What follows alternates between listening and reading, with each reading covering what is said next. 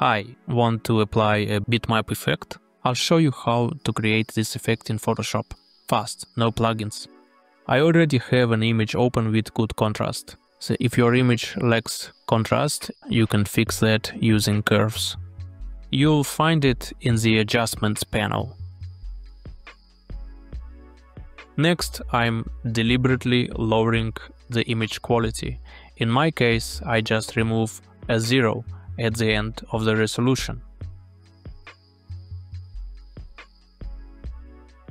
Then I go to File, Export, Save for Web.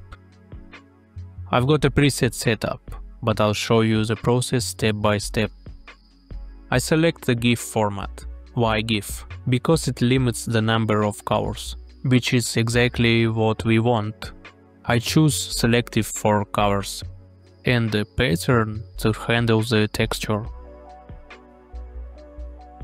Here you can tweak the number of colors. More colors are possible, but 3 keeps it clean and focused. In the color table you can manually select and replace colors if you want more control. I'll stick with the black and white option. Save the file and open it again.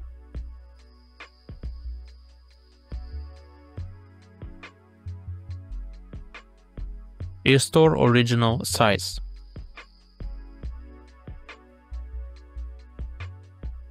One important note.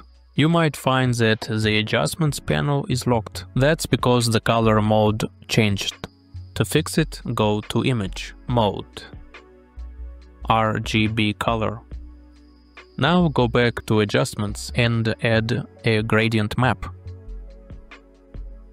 Since the image only contains black, white and gray now, the gradient applies perfectly, no extra noise or mess. I'll choose this gradient. If you found this helpful, leave a like and subscribe.